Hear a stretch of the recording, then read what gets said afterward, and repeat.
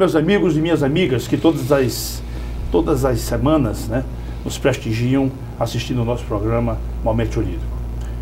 Hoje nós convidamos um grande magistrado aqui do Estado de Alagoas, um magistrado que integra o nosso Tribunal de Justiça de forma elevada e de forma que enaltece o nosso tribunal, que é o nosso caríssimo doutor Marcelo Tadeu Lemos de Oliveira, que está aqui conosco para bater um papo, para conversar sobre coisas do judiciário, sobre coisas da hora, sobre temas do momento.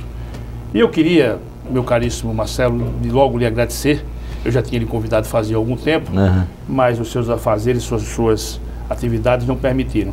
E começamos semana passada, acertamos e você nos honra com a sua presença aqui nos nossos estúdios. Então eu queria, é, Marcelo, agradecer em meu nome, em nome da casa, da TV Mar Canal 25, em nome dos nossos telespectadores e da equipe que nos acompanha aqui no nosso programa. Então eu queria deixar à vontade para você fazer uma primeira saudação ou mandar uma primeira mensagem para os nossos telespectadores, por favor. Ok, é um prazer, na verdade, enorme é meu estar aqui nesse momento com, com você, já no, no, no, canal 25 da TV Mar, para abordarmos temas abertos relativos a, aos momentos jurídicos que o Brasil passa, né, os quais é, reputo como talvez o momento mais significativo que estamos a viver na, no Brasil no que diz respeito à estrutura jurídica e a sua conformação ou desconformação com a estrutura política. Ô, Marcelo, eu queria logo, meu caríssimo amigo, lhe fazer uma pergunta, uma pergunta, vamos chamar assim, era macroscópica, para depois a gente poder abordar temas específicos. Como é que você vê, é, Marcelo, como é que você vê a dinâmica na nossa magistratura, a magistratura do Brasil hoje? Por que eu estou perguntando isso? É. Porque são críticas veementes, você vê poucos elogios e muitas críticas. E aí eu lhe pergunto, como é que você vê a dinâmica da nossa magistratura no Brasil hoje?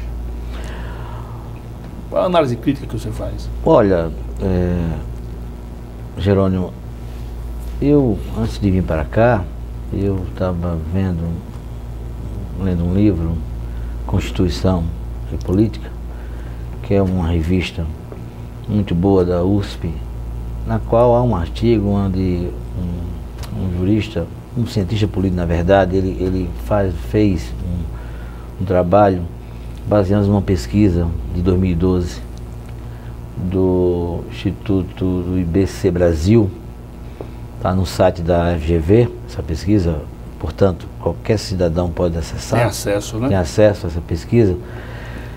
E naquela pesquisa, dentre outros, dentre outros, é, dentre outros pontos enfrentados na pesquisa, 67%, Jerônimo, dos entrevistados não nos têm como honestos. Nos veem como pouco ou quase nada de honesto. Isso é gravíssimo. Muito grave. Veja, 67%. Né? 63% não nos veem como imparciais.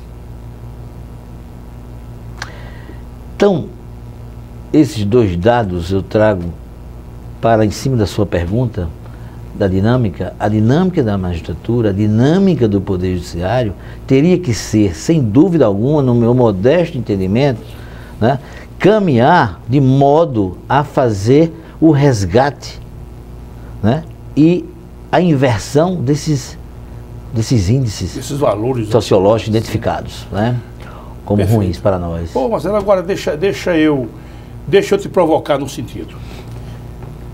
Eu estou dizendo isso e falo para os nossos telespectadores e falo para você também. Nós temos em nosso país a imensa maioria dos nossos magistrados são homens da mais alta qualificação, ética, moral e intelectual. Eu estou dizendo isso com a maior tranquilidade. Eu vou pegar como espaço amostral Alagoas. Nós temos um, um nós temos um, um, um elenco de magistrados que nos honram, a mim, a mim pelo menos me honra. Um ou outro ponto de distorção que eu acho que é quase que irrelevante, a imensa maioria são juízes da mais alta qualidade. Você é um deles, que eu reputo. Ah. É um você já vai com um quarto de século na magistratura se comportando como um grande juiz. Por exemplo, eu se tivesse uma questão a ser decidida, eu gostaria que você fosse o juiz que decidisse a minha questão. Não posso dizer mais Obrigado. nada. Tá. Então, Agradeço. então, onde é que está o ponto nevrálgico? Porque nós temos grandes juízes, nós temos homens qualificados, nós temos homens e mulheres éticas, nós temos homens e mulheres que elevariam, por exemplo, se você pegar aqui de Alagoas, pode levar para qualquer estado desse país, que seriam grandes magistrados. Onde é que está esse ponto de distorção? Eu acho, Jerônimo. Ô, Marcelo, você concorda comigo, não concorda com o que eu falei? Concordo, assim, ve- veja, eu concordo que nós temos uma, uma, uma magistratura né, com um bom, um bom quadro, né, com pessoas né, de caráter, né, equilibradas, eticamente, como se está colocando. Agora, tem um aspecto que aí eu me incluo. Aliás, é um aspecto que, que talvez hum, eu imagino que talvez seja o ponto de partida para a gente identificar o, como proceder, como se colocar de modo a reverter, digamos, o quadro apontado nessa, nessa pesquisa. Por exemplo, é, é que tem uma questão, Jerônimo, a sociedade precisa observar isso, é que é exigido do magistrado um comportamento de neutralidade, que é um comportamento talvez é, quase que impossível de você obter esse compromisso. Aqui e acolá nós falhamos na afirmação e no comportamento neutral, digamos assim. Porque a rigor né, é um pedido da lei quase difícil do juiz atender. Porque nós temos a nossa carga histórica. Nós temos a nossa formação, Gerônimo. Claro, aliás, o Marcelo me permita, o Rui Portanova, o, Isso. Rui, Rui Portanova, ele tem uma Isso. obra chamada Motivação Motivações da, da, da- da, da- das- sentença. né? exatamente, isso. E como nós vivemos num, num meio social, essa imparcialidade nossa é imparcialidade apenas em tese, né? É, em tese, exatamente. Eu acho o seguinte, no momento que você começasse, o magistrado, minha, isso é uma opinião minha pessoal, por favor, né? mas no momento em que o juiz, Jerônimo, começasse a decidir, assumindo, assumindo na decisão, nas motivações, assumindo posições ideológicas e tentando identificar ou encaixar suas posições dentro do arcabouço jurídico, ou seja, dentro da ordem jurídica, confessando nas suas decisões judiciais. Eu acho que esse é o ponto de partida para mudar. Ou seja, uma postura republicana nas decisões judiciais. Agora preciso ter cuidado, porque nós vamos entrar nesse assunto no, no segundo bloco. É porque o juiz hoje, o encaminha, há um encaminhamento, que eu chamo de um encaminhamento brutal, para que o juiz venha ficar totalmente engessado. Porque eu mesmo não vou. Eu estou dizendo aqui, eu não vou. Por exemplo, se eu der uma sentença, se eu editar uma sentença, tanto faz na esfera civil ou criminal, se eu editar uma sentença, e eu desconfiar que o tribunal amanhã, ou, ou o Tribunal de Justiça, ou o STJ, ou mesmo o Supremo, modificando minha decisão, eu posso ser processado, eu não vou querer um negócio desse para mim. Porque eu vou decidir de forma imparcial, claro, se eu vou- eu vou sofrer a carga das minhas experiências como pessoa, como meio social em que vivo, mas essa imparcialidade, essa imparcialidade que eu digo de você sofrer essa influência. Por exemplo, por exemplo, um filho que tem um pai atropelado que morre atropelado. Amanhã, se ele for julgar um caso de atropelamento, claro que ele vai sofrer É. eh, essa carga. Por favor, continue, É. Marcelo. Pois é, então, é, é, até usando é, esse questionamento, essa sua preocupação, enquanto, não entrevistador agora, mas enquanto, enquanto Claro. juiz, tão quanto eu, na, na questão do, do, do engessamento, é interessante, né, Jerônimo, porque nós tivemos a, a o recente, ou a recente inserção do novo Código de Processo Civil na ordem jurídica nossa, né? E é engraçado que é um, um código que ele simplesmente ele realmente tá, está vindo, chegou para engessar o primeiro grau de jurisdição. Né? É, uma, é uma lei que dá, está dando poder demais ao segundo grau. ao segundo grau, quase que deixando os juízes na jurisdição civil ou na jurisdição civil né, realmente engessados. Engessados. Você. Você vê por essa vertente, né? O, o CBC? Não tem a menor dúvida. Eu acho que foi dado poder demais ao segundo grau e que isso, na verdade, tem que ser revisto. E acho que vai ser revisto, viu, Gerônimo? Porque é, eu sempre digo que no, na, na jurisdição civil, quando houve CBC, os juízes praticamente viraram ou virarão papagaios judiciais.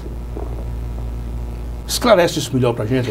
A questão, da, da questão da, da, da, daqueles incidentes de, de repetição, de, certo, certo, certo. de demandas. Certo, certo, né? Como se pudesse, como se pudesse olhar a justiça como um, uma grande fábrica, uma grande fábrica montadora de veículos certo. ou de qualquer eletrodoméstico, onde, onde todo, todo equipamento, toda a engrenagem, ela é toda igualzinha e vai encaixando sempre no mesmo oh, exato. Oh, oh, e não, não, é assim. Mas você não acha o volume, o volume de processo que nós temos, você não acha que teria que haver alguma saída? Não, vou pegar um exemplo só para você. Hum. A questão, a questão dos incidentes repetitivos, é, você não acha que a questão, por exemplo, de medicamento, a questão, por exemplo, de plano de saúde, questões desses jaís, você não acha que elas são demais, não? Pra, pra, Sim, mas o que eu quero falar, Gerônimo, é que, na verdade, o que eu quero chamar a atenção é que no meio desse bolo, digamos, há situações que são, têm umas nuances distintas.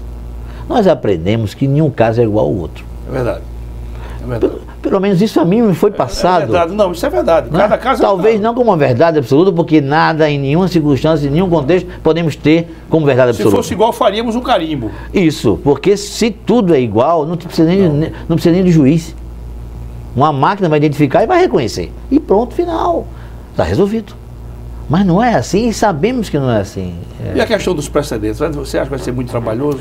Pois é, é outro problema o precedente. O precedente, exatamente, esse ainda fica mais, mais adequado a essa preocupação que eu coloco Você aqui. sabe que se o juiz enfrentar, se o juiz decidir contrariando um precedente, da maneira como ele ele, ele contraria, pode dar até corregedoria para ele. E você sabe muito bem, né? Eu, eu, eu conversava com o um professor que é meu orientador, o professor Paulo Ferreira da Cunha, que é um português, de, da cidade do Porto, inclusive, mas está no Brasil aqui, em São Paulo, é, na USP. E Uma bela cidade, por sinal, viu? É, muito bacana.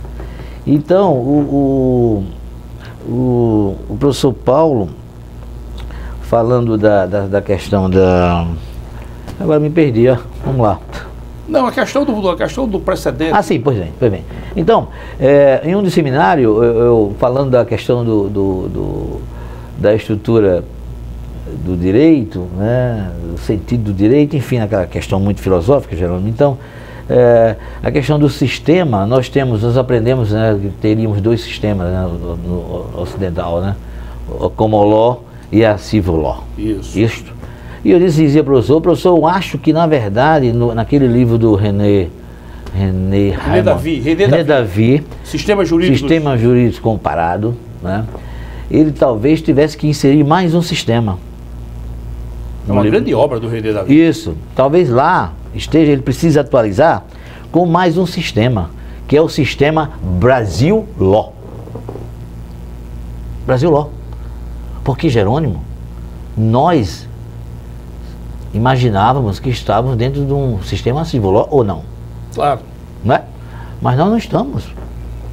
Nós não estamos simplesmente porque estamos assistindo né, o judiciário num protagonismo né, tão exacerbado que, que realmente tem se transformado né, num, num poder coadjuvante do legislativo, né, legislando tão quanto aliás, com até mais força, porque a legislação que os temas que ele tem enfrentado, trabalhando, trabalhando no campo de uma legislação, né, realmente tira toda a, a perspectiva de um sistema baseado na common law. Porém, contudo, todavia, né, esta postura, por outro lado, não vai jamais se adequar ao sistema da common law, porque o precedente, Jerônimo, é uma questão, o precedente como no, no, no, no na concepção da Comoló, Não tem nada, mas nada a ver com tais precedentes lançados no Brasil Law, que eu chamo de Brasil Law.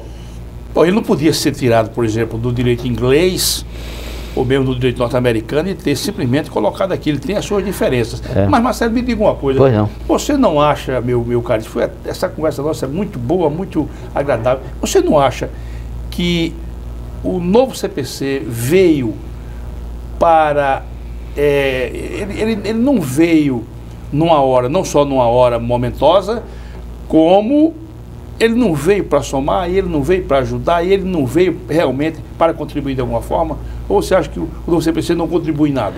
Não, o CPC, ele vem, óbvio que eu não estou condenando né, a legislação.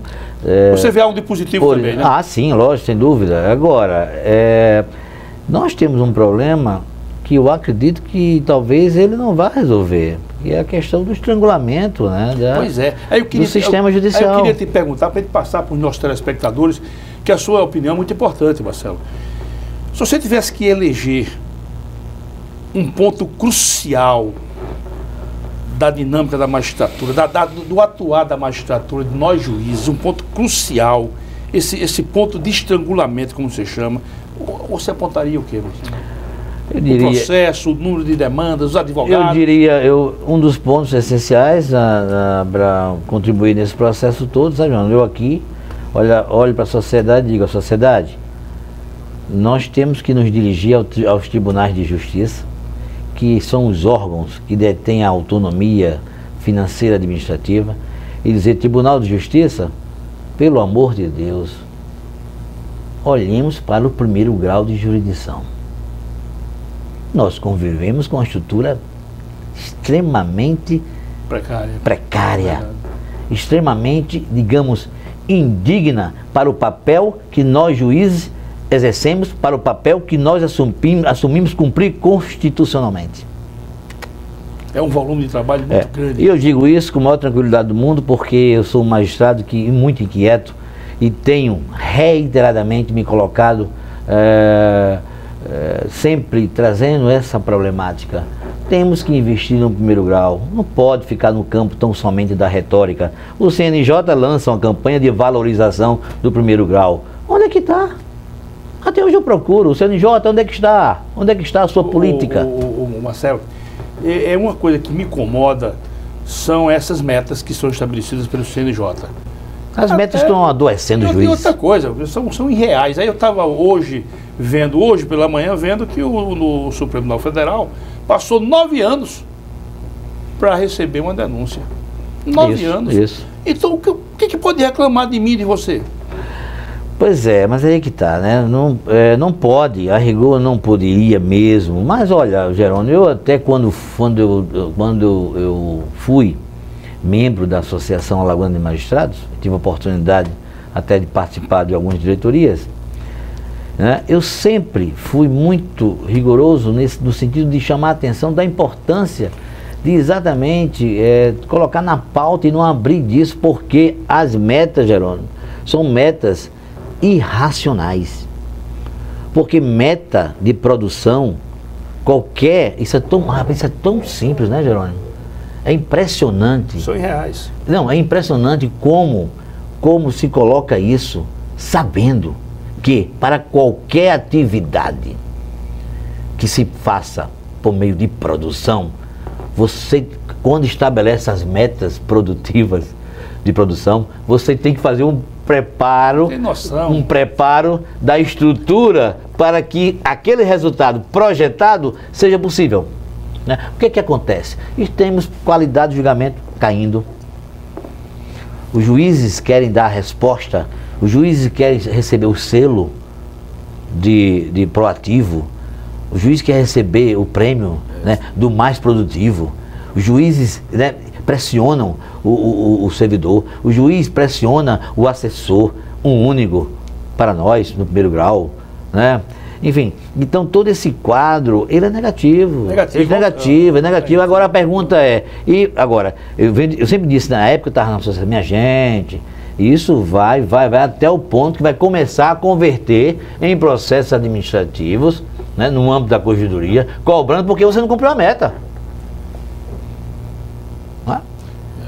E no dia que isso acontecer, como nós, como nós ficaremos numa situação dessa? É, mas eu, eu acho que todos Lá nos tribunais tendo processo com nove anos. O, o, o, não para receber uma denúncia. Então, para receber, imagine julgar. O, o, eu acho que eles próprios sabem que, são, que, é, que, é um, que é um fenômeno real. Porque, por exemplo, a sociedade é, às vezes não percebe isso. Mas cada decisão, não os despachos de mero expediente, mas cada decisão, um interlocutório ou mesmo uma sentença, exige do juiz uma leitura uma leitura acadêmica, essa é a expressão, das peças. Aquilo demanda tempo. Como o indivíduo não é uma máquina, né, os neurônios cansam. Isso com um, depois vem 10, 20, 30, 100, mil, 2 mil, 3 mil. Não, o ser humano não aguenta isso. Agora, as pessoas que devem olhar não estão olhando. E isso vem aí uma pesquisa com relação a doenças desenvolvidas na magistratura, infarto, é. AVC, é. depressão, não é verdade? Ah, exatamente. E com outros reflexos, né? Outros o, reflexos. O, o, meu caro Marcelo, eu, eu quando, quando te convidei, eu, eu vou fazer essa pergunta ao Marcelo. Marcelo, você, nós sabemos, você é um juiz de posição, de posições firmes. Você é isso que você está dizendo. Isso eu acho muito importante, né? Porque há pessoas que. Eu tinha um professor, um professor na, na minha época de medicina, que ele dizia que é muito fácil a pessoa dizer assim, eu te amo da boca para fora. Mas o que vai dentro do indivíduo às vezes não tem nada a ver, né? É. Às vezes você vê, nós temos colegas mesmo que demonstram uma coisa, mas eles na realidade são outra coisa. Sim. Não é o seu caso. Então eu te digo o seguinte, mas aí você passou pela vara de execução penal. Sim. E eu me lembro que naquela época, eu vou usar uma expressão, vou pedir permissão aqui aos nossos telespectadores para usar a expressão, você pegou a. Eu me lembro que você teve uma hora que você Parece que você pegou uma pressão tão grande que você disse, vou mandar soltar todo mundo. É. Como foi a sua experiência na vara de execuções? Né? Olha, uma experiência extraordinária na minha avaliação. E foi, eu fui para a execução penal por uma escolha minha mesmo, na época até convidei, falei com um colega se tinha interesse. E pouca gente quer aquilo. Isso, interesse perguntar, porque de fato eu queria viver aquela realidade. Né? Na ocasião eu vivia digamos, o outro lado da justiça criminal, né? que é exatamente... A, o indivíduo já condenado, estabilizado. É, o, traba o trabalho na, na, na, na, na perseguição penal e na identificação do culpado e a punição né? e a remessa para o ambiente da execução penal, sistema prisional. E depois eu né, quis viver esse outro lado. E interessante, Jerônimo, que na época, quando, é, acho que um um meio de comunicação aí, daqui de Lagoas, é, me entrevistou e perguntou, mas é, digo, olha, meu objetivo, meu objetivo nessa sessão penal é viver essa realidade e com, tenho um desejo enorme de, de tentar promover uma revolução. Eu usei essa expressão. Eu me lembro. É, eu usei essa expressão. Isso está registrado na, em um dos jornais eu locais. Eu me recordo. E de fato, quando eu afirmei aquilo, a afirmação, né, digamos, oh, veio da minha alma, né? Marcelo, a impressão que eu tive ali, eu estava assistindo inclusive o programa, é que você estava sob alta pressão ali. Sim, é muito. Você, como pressão. ser humano, estava com alta pressão. Você vendo os problemas, não podendo dar uma solução. Eu me lembro que você clamou para as autoridades: olha, vou mandar soltar. É. Por favor. Pois é, então o que acontece? Naquela época, eu, quando assumi, assumi, assumi os presídios, como de regra, todos superlotados né? E aí transferi. Transferi o gabinete para dentro do sistema prisional e lá passei cerca de quase quatro meses.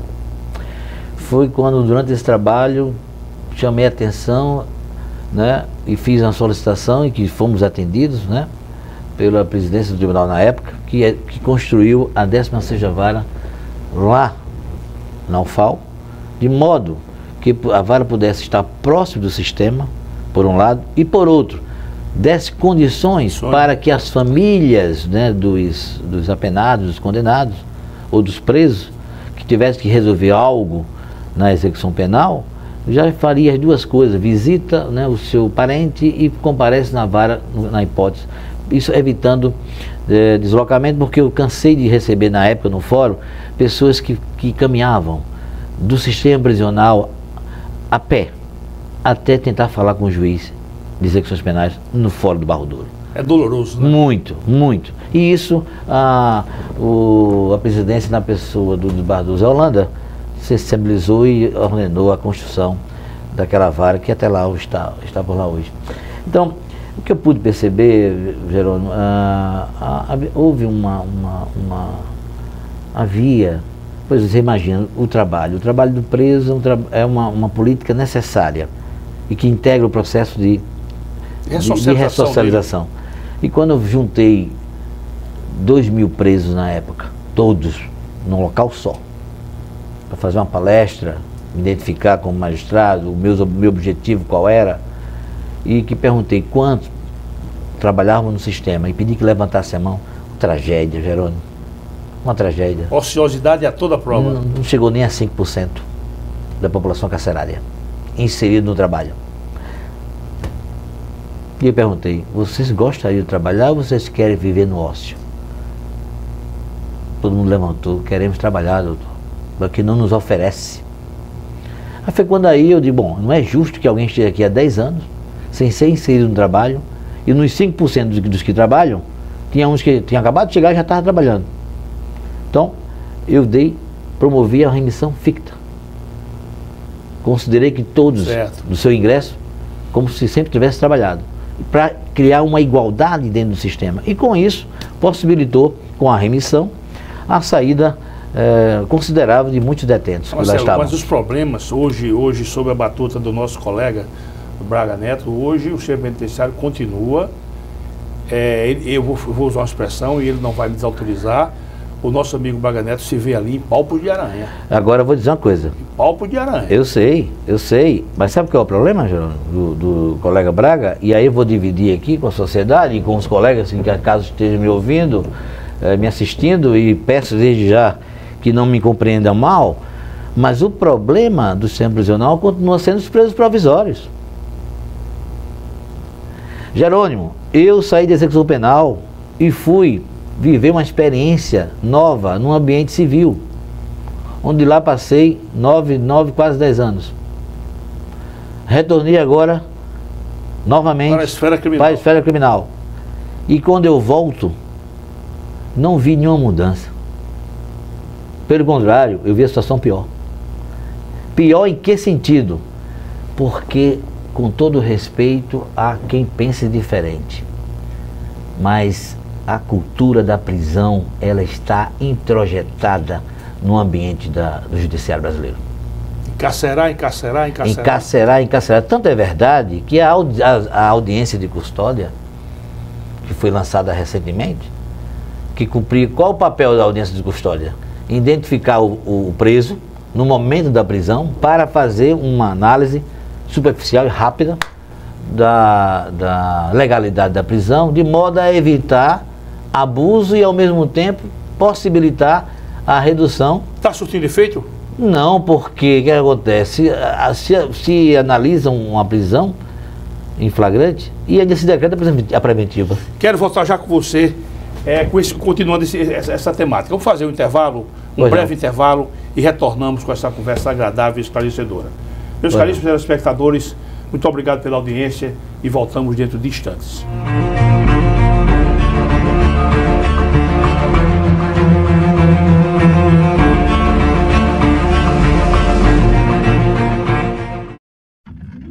A CL Investimentos é uma empresa que trabalha com imóveis próprios. Quando precisar locar ou comprar um imóvel, procure a CL Investimentos. Aqui só locamos e vendemos imóveis próprios. Por isso damos garantia de um investimento seguro.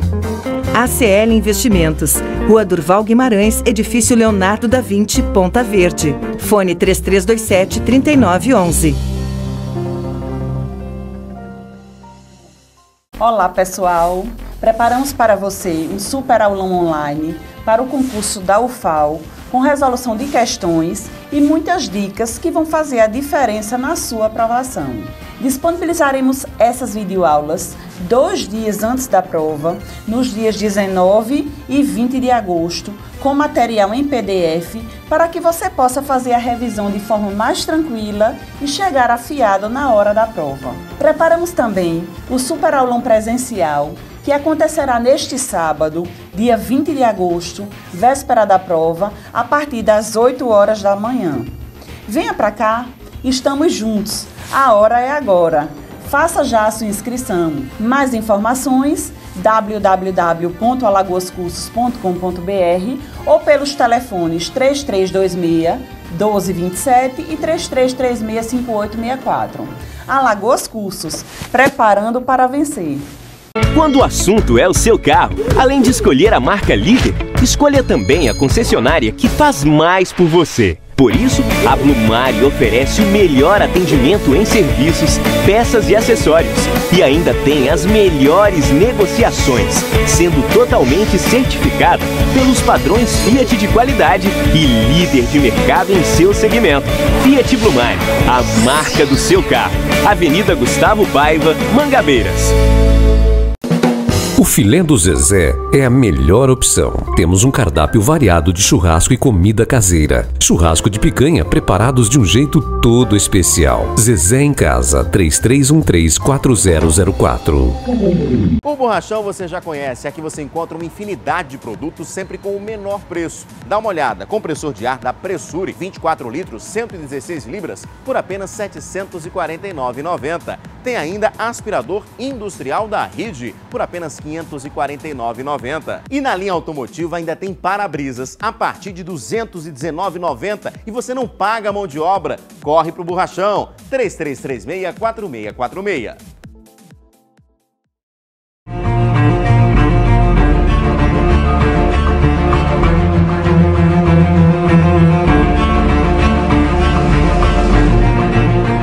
Olá, meus amigos e minhas amigas, estamos retornando aqui com o Dr. Marcelo Tadeu Lemos de Oliveira, Isso. que está aqui conversando conosco sobre temas os mais diversos da magistratura.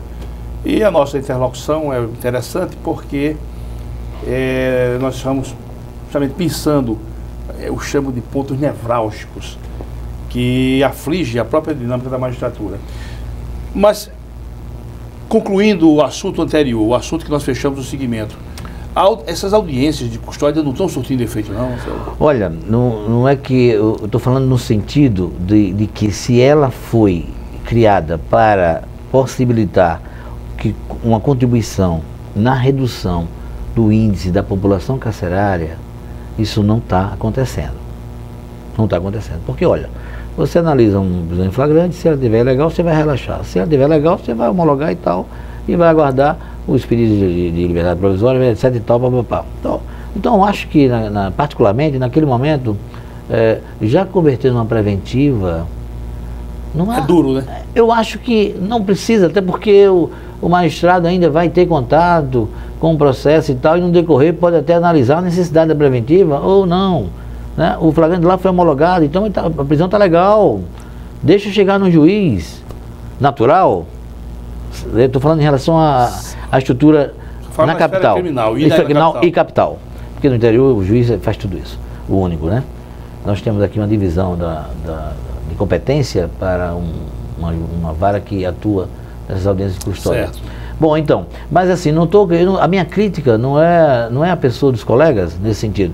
É que, de fato, há uma, uma cultura da prisão. Olha, Jerônimo, houve uma criação de uma lei anterior a essa, essa, essa, esse disciplinamento da questão da audiência de custódia, que criou uma série de medidas cautelares substitutivas à prisão provisória. É a questão da tornozeleira, é, compromissos, vinculações, prisão domiciliar e comparecimento no fora, etc. E tal, uma série de, de medidas. E na época, eu dizia da sua, quando da sua edição, introdução na ordem jurídica, nossa, Digo, olha, essa lei não vai ter efeito. Você percebeu isso? Eu, eu antecipei o resultado comprovado hoje. Ela não reduziu a população carcerária. Por que não reduz? É. Porque a cultura da prisão, infelizmente, ela está introjetada no judiciário brasileiro. E como é que você vai mudar isso, Marcelo? Vai mudar com uma alteração no recrutamento dos juízes, na preparação dos juízes ao meu ver. Ao seu modo de pensar. Né? Isso. Né? A questão da humanização. Né?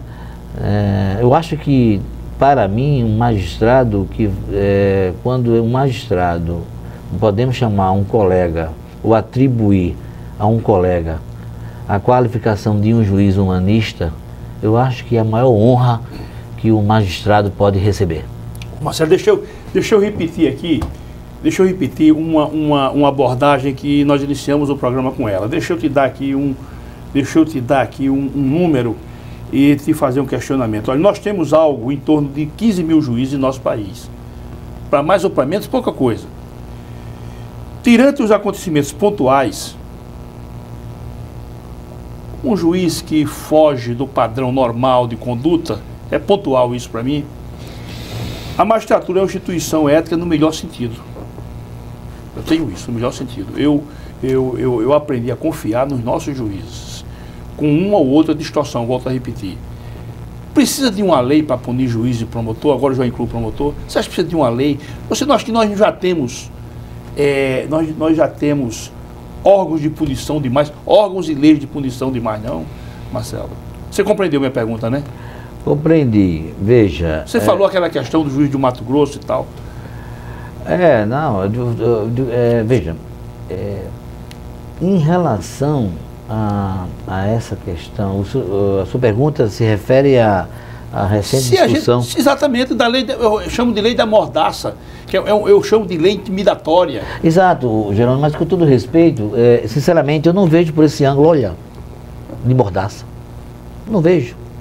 Porque é, o abuso de autoridade que aqui está sendo tratado, nesse- nessa ideia, ou nesse projeto, né, na verdade, trata o abuso de autoridade no âmbito, no viés da criminalização de condutas, ou seja, Mas isso não é pontual, Marcelo? Precisa de uma lei?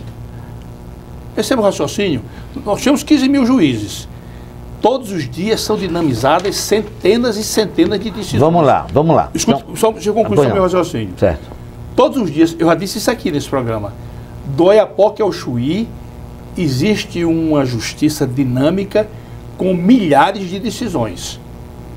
Aí, aí, aí eu coloco um outro dado. O juiz que resvala para um outro caminhar que não é recepcionado como uma conduta boa pela magistratura é o mínimo dos mínimos. Se não fosse assim, seria uma loucura. Aí eu preciso, precisa de uma lei? Eu pergunto, precisa de uma lei? Precisa. Na minha opinião, precisa. Então, por favor. Precisa. Vou dar um exemplo. Por exemplo, falava no, no- no- há pouco tempo sobre a questão da sobre a minha experiência de execução penal. Certo. Portanto, na jurisdição criminal. O que acontece? Nós assistimos no dia a dia, né, temos contato com situações de absoluto, digamos, absoluto excesso de autoridade na utilização das prisões. Você acha que é excesso de autoridade, Marcelo?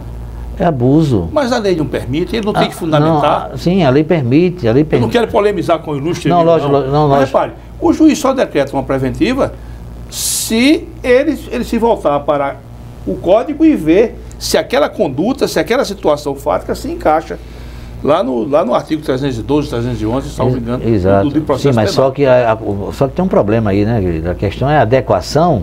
A adequação, né, muitas vezes não é feita né, dentro do rigor. Mas isso não é uma minoria, Marcelo? Não, não é uma minoria, não é uma, entenda, não é uma minoria, mas tem um reflexo. Certo. Tem um reflexo, eu falei da, da população carcerária no Brasil, tem a ver com a cultura da prisão.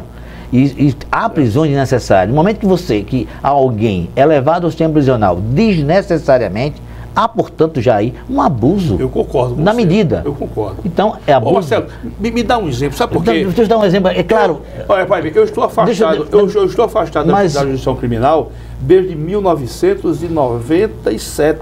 mas esse, Eu esse afastado. exemplo é muito importante que eu vou lhe dar. Aí eu estou perguntando é porque realmente eu, não, não- talvez não tenha a sua percepção. Isso, eu vou fazer um contraponto que talvez você fique chocado e a sociedade se choque mais ainda. Sobretudo aquela, aquela parcela que tem um compromisso né, com os direitos humanos, com a afirmação histórica dos direitos humanos. Pois bem, esses excessos que acontecem no cotidiano e a, e a população carcerária está aí para dizer, e, não sou eu que estou afirmando, né? por um lado, não há punição. Vamos procurar no Brasil quantos magistrados foram punidos por atos abusivos. Porque decretou, porque decretou a preventiva. Por exemplo, de levar o cárcere sem necessidade. Por exemplo, sem necessidade. Não tem. Procure no Brasil, não vai encontrar. Engraçado, eu, como juiz de execuções penais, sabe o que aconteceu comigo?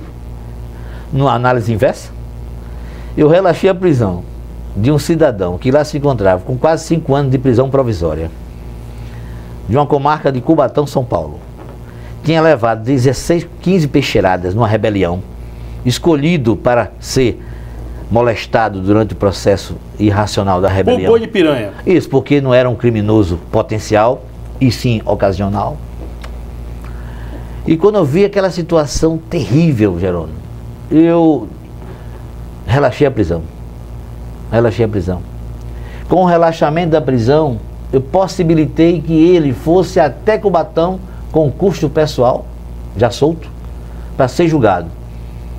Foi com a soltura dele que o libelo finalmente foi oferecido e foi encaminhado para Alagoas para ele tomar conhecimento do libelo e, ser possível, agendar o julgamento, como assim foi feito. E ele seguiu para Cubatão. E lá sentou no banco de réus e foi absolvido por 7 a 0. Este homem cumpriu 5 anos de cárcere, 11 peixeiradas numa rebelião. E inocente. É complicado. Mas, mas eu, eu volto a dizer, isso não é um caso isolado, não? Isolado? Não é, estou falando só do olhar, do dano. Não estou justificando, não. Não, sabe? do dano causado, não é isolado, não. Sem prisional encontramos situações diversas. De arbitrariedade. Encontramos. De certeza. De certeza. Você fala em todos os estados da federação? Todos. Todos. Eu estou falando pelo, pela questão pela questão que está subjacente na magistratura brasileira, que é a cultura da prisão. Nossa, mas as corregedorias. Eu quero que você separe bem. Mas, Gerônimo, só para esse caso que eu vou te falar, eu fui punido, Gerônimo. Eu fui punido porque soltei este homem. Mas punido a que, a que motivação? Por usurpação de competência. E deu problema para você? Não, eu fui censurado por, pelo Tribunal de Justiça. O Tribunal de Justiça de Alagoas me censurou, me puniu administrativamente por essa conduta de remediar um inocente que encarcerado há quase cinco anos. Então o judiciário aparece para punir o magistrado nessa circunstância. E você foi punido? E não aparece na outra. E você foi punido? Fui punido e tive que recorrer até o Supremo Tribunal Federal. E obtive com toda a honra um liminar do ministro Dilma Mendes. É duro. Então, isso. eu, como magistrado, Jerônimo, eu sou defensor literalmente desse projeto. Porque esse projeto não, não, não, está, não está sendo editado para mim, não. Marcelo. E eu acho que todos os magistrados que têm compromisso com a Constituição, que têm compromisso, portanto, têm consciência dos seus limites de atuação, têm que aplaudir esta lei. Marcelo, deixa eu dar. então, então, Marcelo, deixa eu trazer aqui um segmento de um jurista que eu reputo como da mais alta honorabilidade, que é o Modesto Cavalhosa. Dizer que Modesto Cavalhosa não é um homem honrado, um homem não, mais não, elevada não, não. Com certeza, ética. com certeza. Deixa eu ler esse texto aqui. Eu queria que você fizesse uma análise, um, eu queria que você fizesse uma análise é, é, sobre esse texto dele aqui. Muito pois interessante. Não ele disse como em resignação, como num grito de resignação. Uhum. Disse Modesto Cavalhosa é, em, na Folha de São Paulo. Certo. Na madrugada seguinte à da tragédia aérea que abalou o país, a Câmara dos Deputados, por obra dos 313 parlamentares que compõem Modesto Cavalhosa, viu? a facção criminosa conhecida pela alcunha de Comando Pró-Corrupção, promoveu uma das maiores afrontas que o povo brasileiro já sofreu em sua história. Eles massacraram na cara da noite os 103 deputados que integram a combativa Frente Parlamentar Anticorrupção, presidida pelo deputado Mendes Tame, e aprovaram uma pretensa lei, é isso que eu quero tratar com você, que criminaliza os magistrados e membros do Ministério Público. Acontece que essa medida demandaria um projeto de reforma constitucional, uma PEC, para ser reconhecido no ordenamento jurídico. Então, diz Mulher Cavalhosa, o meio, ele não está discutindo necessidade ou não, mas o meio foi totalmente equivocado. E diz que é altamente comprometedora a forma como esse como é, como é esse, essa, essa legislação, esse projeto foi levado a efeito na cara da noite. O que é que você acha de todo esse imbróglio aí? Olha, nós, nós estamos assistindo, sabe, Jerônimo, com todo o respeito que eu tenho às instituições, Mas estamos assistindo realmente, o Brasil vive um momento muito difícil. Né? Ah, hoje, na verdade, há o estrangulamento, digamos assim, na minha visão, há o estrangulamento do conceito, do conceito essencial que, e que é um conceito fundamental da República do Brasil, que é o princípio da separação dos poderes. Tudo que está acontecendo, Geraldo, tem uma causa. Tem uma causa.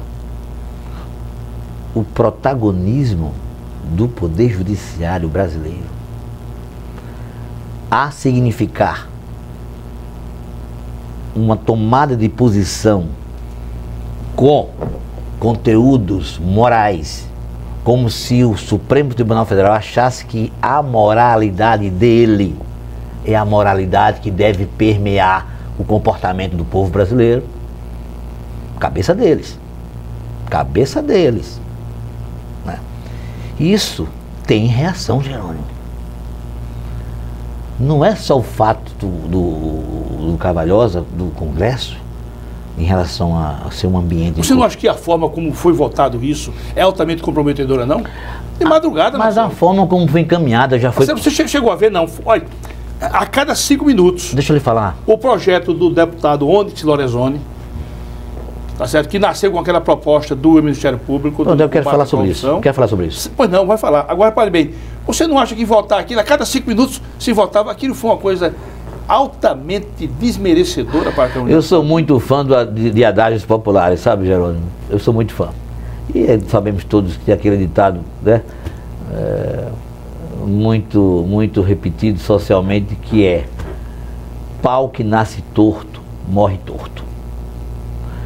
Se o encaminhamento dentro do ambiente legislativo foi inadequado, totalmente inadequado. A, a, digamos, a ser possível criar uma ideia de uma arrumação de calada da noite, de uma coisa orquestrada, com o puro propósito de atingir e agredir a magistratura e o Ministério Público brasileiros. Tá? Não menos diferentes, Zerônio, com um viés óbvio de um contexto ou outro, mas a preparação das medidas de anticorrupção que obteve, que fez todo aquele, aquele, aquele trabalho junto a. 2 milhões e 500 mil cidadãos é, participaram. É, de 200 milhões de pessoas no Brasil, né? Então, enfim. Mas é aquela coisa. É um projeto que não, não houve discussão. Houve a coleta de assinatura, mas a discussão. Sim, houve um encaminhamento, sim. sim. A discussão se daria na Câmara não, dos Deputados. Sim, mas veja, o projeto foi de quem? Foi do povo? Não, o, veja bem, o projeto o projeto, a ideia inicial fora do, do, do Ministério Público. O que é que está acontecendo, com tá todo certo? respeito, Geraldo? E o deputado ontem, Clérezone, que era o relator, deu o que se chama de um, de, de um polimento. Tá certo? E até aí estava todo mundo aceitando. O que o Congresso fez, na verdade, Geraldo, sabe, nesse sentido. Eu, a Câmara dos Deputados. Eu, pelo eu, Senado ficou logo no. Isso, no eu, eu aqui eu olho para a sociedade, olha, eu tenho 23 anos de magistratura.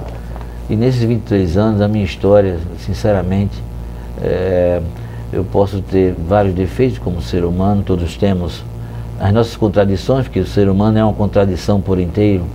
Mas uma coisa é certa, nesses 23 anos não tenho compromisso, nunca tive compromisso com corrupção. Porém, isso não quer dizer que eu vá ficar ao lado de uma ideia, porque se eu de repente me colocar, me confrontar com ela, eu posso me imaginar eu posso ser visto de um outro modo que eu não gostaria que assim fosse, porque não é real. Porque, veja, ficar contra o projeto que foi aprovado pela Câmara Sim. não significa que eu esteja apoiando o encaminhamento. Não, mas é isso, não, eu estou dizendo o seguinte, é uma lei deformada, é uma lei, é uma lei, eu, eu dei lendo, é uma, é uma lei cheia de conceitos subjetivos, vagos, onde juízes e promotores ficam altamente vulneráveis. A quem? Quem é que nos julga? Sim, Quem é que não julga? nós vamos ser julgados pelos nossos pares. Então eu fui, eu fui tá julgado, eu fui julgado pelos nossos pares que me condenou por ter soltado um miserável com quase cinco anos de cadeia, Jerônimo. É mesmo, eu não quero polemizar com você, mas repare bem. Não, estou dando um exemplo. O, o, o, que, o que se discute aqui é se a legislação é boa ou má. Eu acho ela horrível. Ela é boa, vou dar um exemplo. Olha, o que, tá, o que aconteceu é que, na verdade, o que aconteceu, Geraldo, é que nesse processo da Lava Jato, como simbologia de uma, de uma mudança paradigmática né, na estrutura judiciária brasileira, tem seus acertos, mas também tem seus profundos, profundos desacertos. Né? Profundos desacertos. Tem medidas tiveram medidas dentro do estrito limite da ordem jurídica? Sim. Porém, teve também outras medidas judiciais para além da ordem jurídica, com clara, com clara postura do arbítrio que deve ser rechaçado. Óbvio que isto levou naturalmente a criar uma um embate, estamos vivendo nesse momento um embate entre os poderes. É muito você, claro. Você acha que o momento é inadequado não para isso não? Para quê?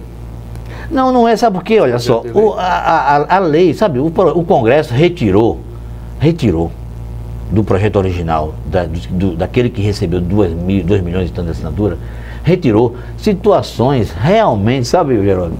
Situações extremamente, extremamente arbitrárias como a questão da relativização da prova ilícita, né?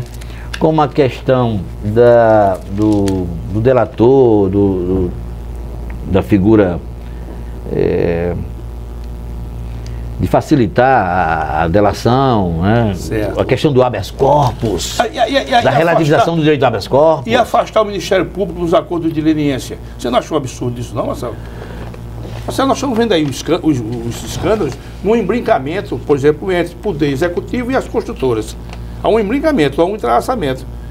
Qualquer acordo desse aí, na minha opinião, tem que ser a pessoa do Ministério Público. Olha, Gerônimo, veja, é, é, veja, tudo bem, eu estou falando, eu estou falando que o projeto é bom. O projeto é bom. Estou só dizendo que o que, na minha ótica, eu certo. respeito, né, certo, o, certo. eu respeito a opinião divergente e acredito que nesse momento é, é, nesse momento, a minha fala certamente é uma fala que num ambiente, num ambiente do judiciário, é uma fala que nesse momento não tem muito eco. Né? Não é muito eco. Eu tenho consciência plena, mas não é por isso que eu vá, é, digamos, é, abrir mão das minhas convicções, porque até porque isso faz parte da minha história. No meu caso, é, pelo, pelo que eu escolhi a seguir, os valores que eu pude entender, entendê-los como, como valores muito fortes que deve, deveríamos sempre olhar no âmbito da jurisdição criminal, repito. Mas olha, Jerônimo, é, o que está acontecendo aqui, por exemplo, constitui crime de abuso de autoridade.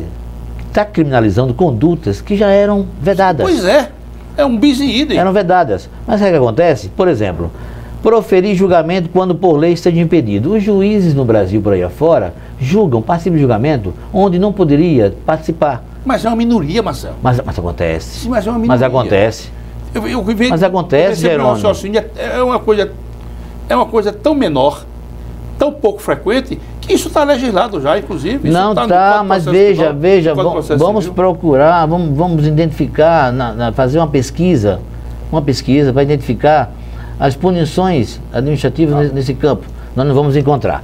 Vamos lá. Atuar no exercício de sua jurisdição com motivação político-partidária. Nós assistimos com esse momento de, de, digamos, de quase uma ruptura, criando lados, criando lados. Porque aquela coisa, a gente uma outra dádiva popular, olha, numa situação não se discute, olha, não se discute, né?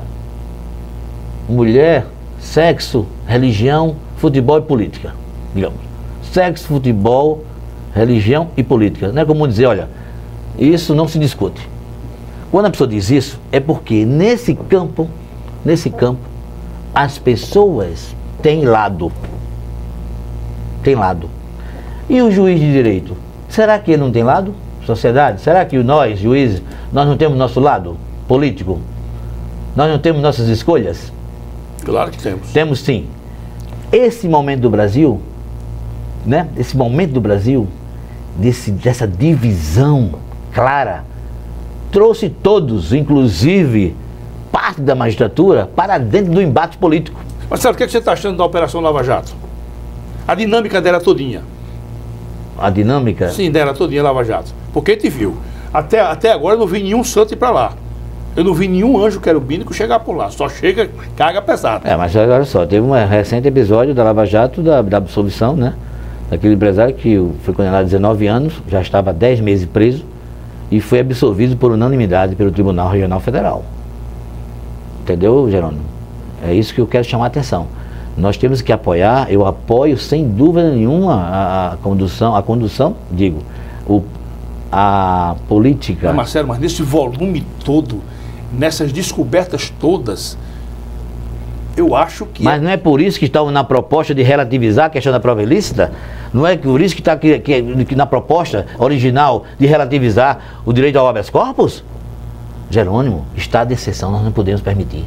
me perdoe, me perdoe o, o proponente, procurador Dallagnol ou Dallagnol, é, é. Dallagnol, eu não penso como o senhor. De forma nenhuma. Não penso como o senhor. E tenho certeza que, como eu, na magistratura espalhada por aí afora, e no próprio Ministério Público, terão aqueles que nesse sentido também assim se comportam. Mas muitos estão encolhidos, não querem nem se colocar porque não querem ser confundidos como se estivessem contra o combate à corrupção e quem é contra a corrupção é corrupto. Não, não é. E pelo contrário, Você eu é acho o método, né? O método eu sou. O método, o método utilizado tem seus exageros e são exageros preocupantes, tanto preocupantes que está resultando nesse tipo de coisa. Delação premiada é válida. Delação premiada. Porque não pega esses caras sem delação, não, mano. Não, não pega. Não pega. Esse campo de. de, de... A delação premiada, eu acho que é o instituto que deve ser. Isso, é, isso, isso, Mas isso... condenado só com base nela não é possível, né, filho? Delação premiada não, não, não é. é. prova. Sim, mas, mas não é. Mas está mas tá sendo qualificado como a, prova. A, a, delação premiada é um meio de você ir é, buscar as Exato, provas. é um meio de prova, como é a busca e apreensão, como é a interceptação, mas, etc. Mas não está ficando tudo demonstrado? Não está ficando tudo demonstrado? Eu não sei, eu, não sei. Olha, esse, esse que estava preso, foi condenado a 19 anos. Não, peraí, mas eu estou dando um exemplo, é importante. Olha, a gente tem que trabalhar. Porque alguém passou 10 anos na cadeia, ou 10 meses no cárcere, e condenado a 19 anos, que adiante foi, foi é, a seu favor reconhecido sua inocência. Né? Óbvio que o juiz, no primeiro grau, pode errar, porque ele foi baseado numa construção, às vezes quando a construção fática ela é ela é, digamos, viciada, né? nós, juízes, vamos no barco e lá na frente. Mas Marcelo, mas no grosso você é a favor da Lava Jato? Sou a favor você do. Pode discordar pontualmente, né? Eu sou a favor da, da, do processo de apuração, de combate à corrupção. Eu, assim, Jerônimo, eu acho que, é, o que o que pecou muito, sabe, que criou essa divisão, foi exatamente os excessos. E por isso, os excessos estão sendo alvo agora do projeto e é necessário. Olha só. Exercer, ainda que em disponibilidade, outro cargo ou função, salvo de magistério, em relação a nós juízes. Certo. E magistério, eu acredito, superior. Isso é altamente ou, ou nós podemos ser professor de cursinho? Não, não, não. Podemos ser coaching? Não, não, não. Não. Isso aí, é, isso aí é um campo de lucro já, né? Já é uma outra visão. Porque aqui a questão do, do juiz, ser possível ser promotor, ser juiz, ser mais, mais, mais é, exercer um magistério superior, né? tem a, própria, a sua própria condição a intelectual. Permite isso. Não, isso, estou falando, né? Bom, mas nós assistimos por aí afora exatamente. Ô, ô, ô mas tudo isso aí, até as próprias corregedorias, com um pouquinho só mais de energia, consegue. Eu sei, consegue mas, trazer eu sei, mas assim, isso não, assim, não tem. Por exemplo, é, exercer, a, a, receber, né, receber qualquer título, pretexto, custo, participante, é, de por exemplo, né, exercer cargo, direção, técnico, sociedade, exercer outra, outra função. Né? Por exemplo, aí que eu falei naquele caso, eu tenho um juiz Mato Grosso, Mato Grosso, Mato Grosso do Sul, né, que é juiz de execuções penais e ao mesmo tempo membro do Conselho Penitenciário. Por exemplo. E ele recebe o jeton? Recebe o jeton. Mas isso não Pelo pode. Não pode, pois é mas está lá. É grave. Então, esse, na hora dessa discussão, esse tipo de exemplos começam a ecoar pelo Brasil todo, trazendo situações as quais a sociedade tem conhecimento, mas aquele órgão que deveria atuar não tem atuado. E aí nós estamos pagando pato, digamos, com a criminalização dessas condutas para além do âmbito administrativo, entendeu, eu, eu acredito que é por aí. Eu acredito que quando o próprio judiciário ele não pune internamente, o, uma instituição externa se julga no direito de de, de, de, de encaminhar essas propostas. Acho, Agora, aqui, acho aqui que. Ah, entenda. É, óbvio que isso aqui é uma emenda aditiva, é suscetível ainda a grande discussão. Acho vai que- haver grande E deve haver grande discussão. Sabemos disso, então não precisa tá- ficar tão preocupado. Agora, que algo, algo tem que ser feito nesse sentido, tem. sem dúvida. Eu vejo por esse ângulo. Doutor Marcelo, nós estamos nos encaminhando aqui para o final do nosso programa. Pois não. É, eu quero ainda deixar esse, esse aqui firmado esse compromisso. Nós vamos conversar mais sobre essa temática e vamos trazê-la para um programa específico.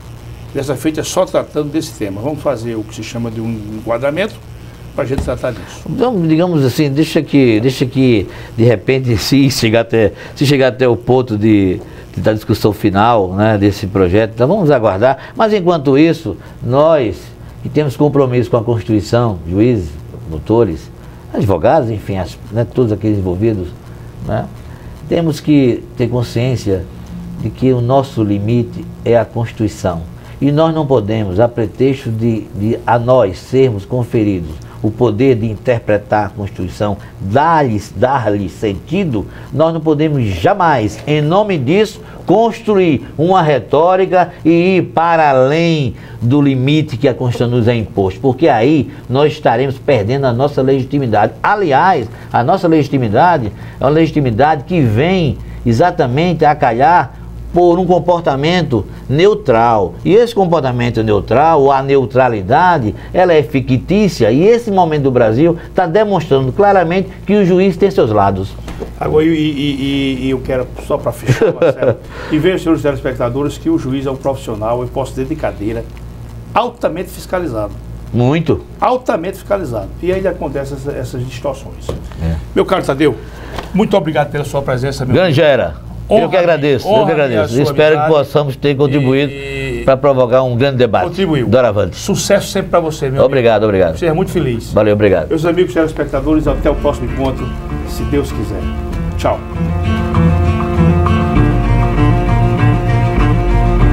E aí?